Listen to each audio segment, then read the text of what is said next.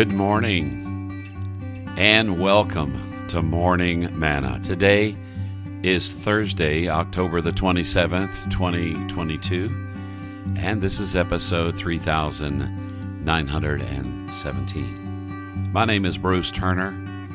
Welcome to today's Morning Manna. Today's episode Wise and Harmless. Stay tuned.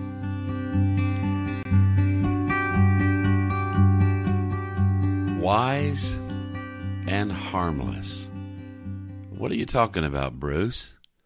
I'm talking about snakes and doves. In Matthew chapter 10, Jesus says something really powerful, and it's really important, I think, for us living in the day in which we live. Now, when Bible companies, uh, Thomas Nelson, other companies like that, Scofield Bibles, they would add a little um, uh, little phrases before certain sections of a chapter, kind of giving you an idea of what it was going to be talking about. So. Um, in chapter 10, verse 1, above that it says the 12 apostles. Above uh, verse 5, it says sending out the 12. Uh, above verse uh, 27, it says Jesus teaches the fear of God and of above verse uh, 34 christ brings division. And but just above verse 16 is this description. Persecutions are coming. Now i am not saying anything uh, prophetic here or political here but jesus taught his disciples in their particular age that persecutions were coming, and he gave them some incredible advice. Now, I would suggest to believers that persecutions are probably coming. And this passage of Scripture gives us wisdom and instruction in understanding about how we should respond. So, verse 16 Behold, I send you out as sheep in the midst of wolves. Therefore, be wise as serpents and harmless as doves.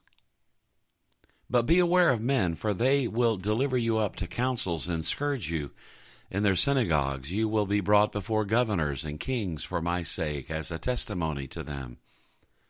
But when they deliver you up, do not worry about how or what you should speak, for it will be given to you in that hour what you should speak.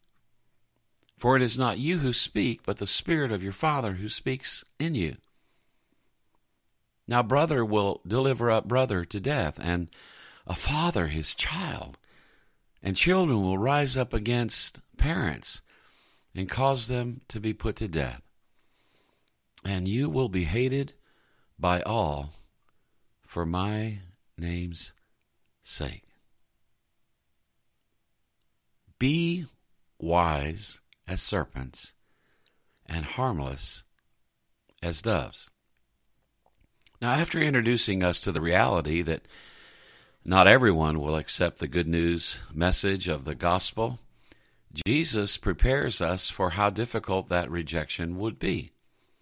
There will be some who have a benign attitude that ignores the message, but others will have a malignant and vengeful attitude toward the gospel and those who share it. How vicious? Jesus' followers would be like sheep hunted by a den of wolves. And in such circumstances, two qualities are not only essential, they're commanded. First, Jesus' followers are to be bright, insightful, strategic, smart, clever, and wise. In other words, we won't stupidly muddle through when opposed. We do not want to bring unnecessary shame on ourselves the cause of Christ or the church. And second, even if we are hounded, criticized, and despised, let's make sure that we are people of character, peace, and purity. Clearly, the Apostle Peter got that message because a reading of 1 Peter teaches us how to practically live out what Jesus teaches here wisdom and innocence in a hostile world in which we live as witnesses to Jesus Christ and his kingdom.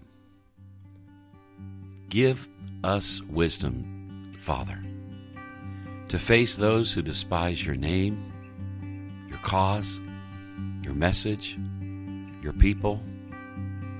Help us not to become hateful toward them like those who hate us and your cause. Instead, create in us a pure and loving heart that we might know and live your ways in witness to those who don't know you. In Jesus' name, amen. Be wise and harmless today. Enjoy your Thursday. Till tomorrow morning, this is Bruce reminding you to choose joy.